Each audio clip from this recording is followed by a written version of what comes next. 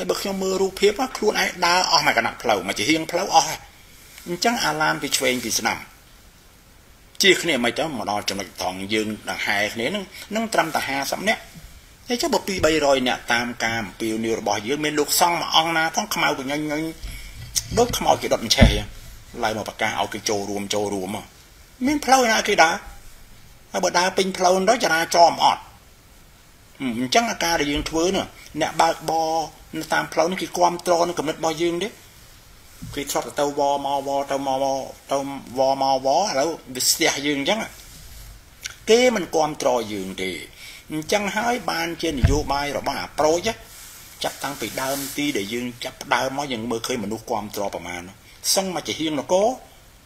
ផ្ទុយទៅវិញឥឡូវហ្នឹងមកកន្លែងណាមួយគេចាប់យកដាក់ក្រោមតអ្នកស្រុក